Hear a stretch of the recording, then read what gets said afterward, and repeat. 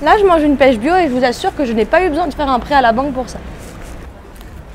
Le bio a souvent la réputation d'être cher et donc réservé à une certaine classe sociale. Bon, c'est vrai, je ne vais pas le démentir, les produits bio sont souvent un peu plus chers que les autres. Bien entendu, il y a des raisons à cette légère différence de prix. La production n'est pas la même, les rendements sont moins élevés, les produits sont de meilleure qualité, etc. etc.